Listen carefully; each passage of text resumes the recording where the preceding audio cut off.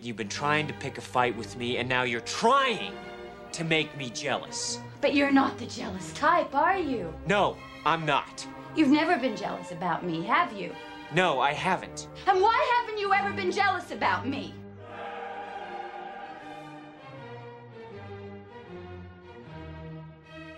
Bill, I have seen one or two things in my life, but never, never anything like this. You know there is no way on earth that you're going to leave here tonight without taking me with you. I, I know what happened last night.